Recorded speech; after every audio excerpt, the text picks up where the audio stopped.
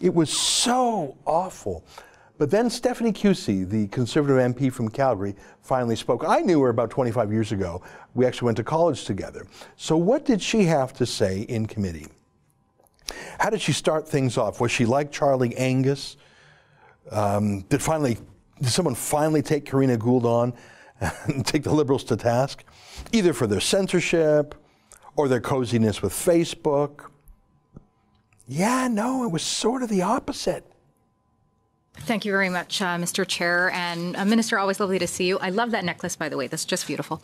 Um, also, I want to say that I really enjoyed your speech yesterday at the uh, AI. Um, and you know what? It was very informal, and I, I really, I think you should go with that format more when you come even to committees because you just you do it so well. So I just I wanted to compliment you on that.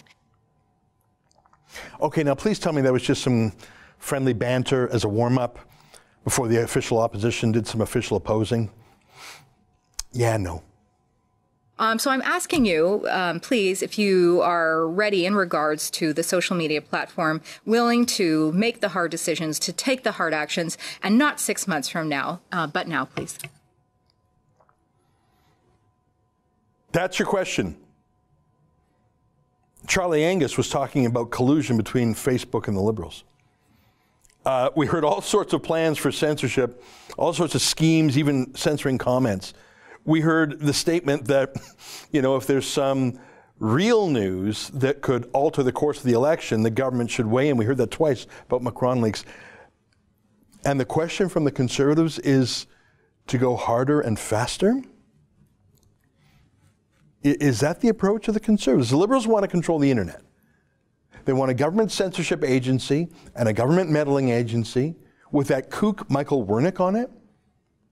They're working hand in glove with liberal executives at Facebook.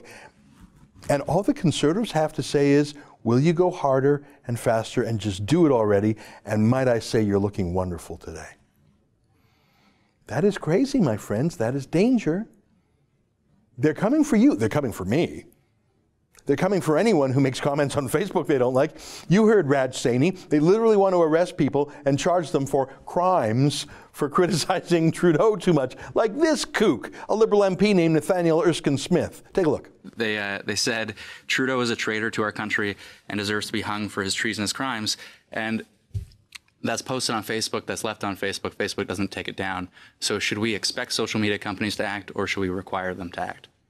So I should uh, clarify that my expectations have to fall within the electoral context at this point as I'm Minister of Democratic Institutions.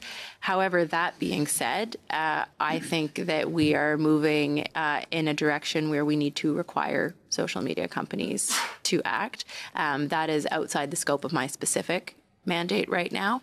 Um, but I think that uh, when we have very clear um, evidence that they are contravening laws here in Canada, that they should be um, acting responsibly in that manner.